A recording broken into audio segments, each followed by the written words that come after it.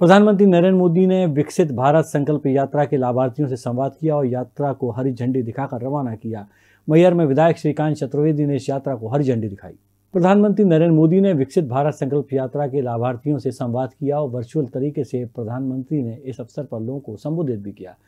इस कार्यक्रम के दौरान प्रधानमंत्री ने राजस्थान, मध्य प्रदेश, छत्तीसगढ़, तेलंगाना और मिजोरम में विकसित भारत संकल्प यात्रा को झंडी दिखाई। मैयर में विकसित संकल्प यात्रा रथ को मैयर विधायक श्रीकांत चतुर्वेदी, मैयर कलेक्टर रानी बाटर ने हरी झंडी दिखाकर रवाना किया। यात्रा का उद्देश्य सरकार की प्रमुख योजनाओं में परिपूर्णता हासिल करना है। इसके तहत ये सुनिश्चित किया जाएगा कि इन योजनाओं का लाभ सभी लक्षित लाभार्थियों तक समयबद्ध तरीके से पहुँच पा रहा है या नहीं। इसलिए पाँच राज्यों में आज उन्होंने हरी झंडी दिखाई है। हमारे मैहर के लिए दो रथ आए हुए हैं, क्योंकि हमारे यहाँ 115 पंचायतें हैं, ये बड़ा है। हर जगह, हर वहाँ एक गई हुई है। और इसका उद्देश्य हमारा मेन ये है, मोदी की गारंटी जो रथ यात्रा का नाम भी रखा गया है, कि जो मोदी जी कहते हैं, वो करते हैं।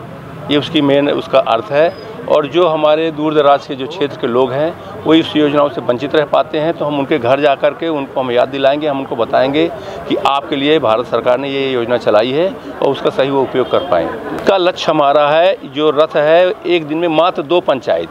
यानी उनको पर्याप्त समय मिलेगा।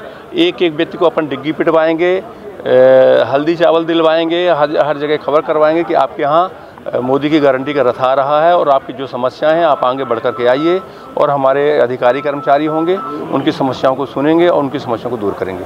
विकसित भारत संकल्प यात्रा का सेकंड फ़ेज़ का आज शुभारंभ है। मोदी जी ने किया जिन राज्यों में, पाँच राज्यों में चुनाव था, उनमें आज से शुरुआत हुई है। ये यात्रा प्रत्येक ग्राम पंचायत और नगर पंचायत इस दफ्तर में जाएगी।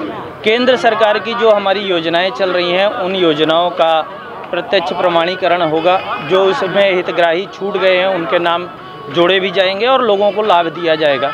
उसकी दृष्टि से हर एक दिन, प्रत्येक दिन दो ग्राम पंचायतों में हर विकास खंड में ये यात्रा जाएगी, जिसका आज शुभारंभ यहाँ मैहर नगर परिषद के गुरु नानक स्कूल वाले मैदान से शुरुआत हुई है। विकसित भारत अभियान, जैसे कि हम सब जान रहे हैं, नरेंद्र मोदी जी का एक बहुत ही उद्देश्य, बहुत ही विजन रहा है कि हम दो तक भारत को ऐसा डेवलप करें जो हर हर स्तर पे चाहे वो आर्थिक हो चाहे राजनीतिक हो चाहे वो सामाजिक स्तर में विकसित करे।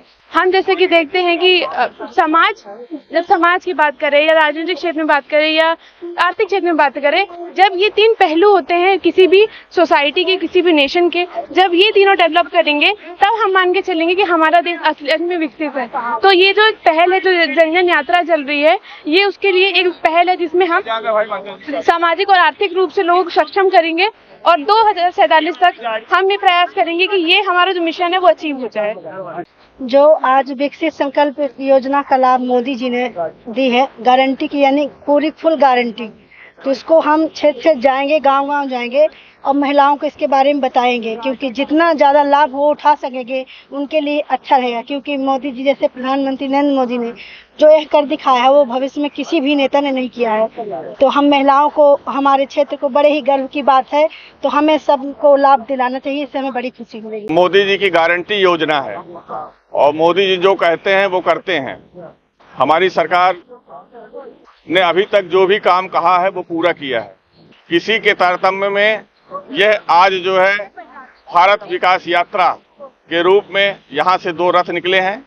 यह रथ जा जा करके हर पंचायतों में जाएँगे और लोगों के घर घर तक में जो भी हमारे लाभार्थी, जो भी किसी भी वर्ग का होगा, जो भी लाभ, कोई भी ऐसा व्यक्ति जो लाभ से वंचित न रह जाए, इस योजना का पूरा शत प्रतिशत लाभ की दिशा में कार्य किया जा रहा है। और हर व्यक्ति को इस योजना का लाभ मिलेगा।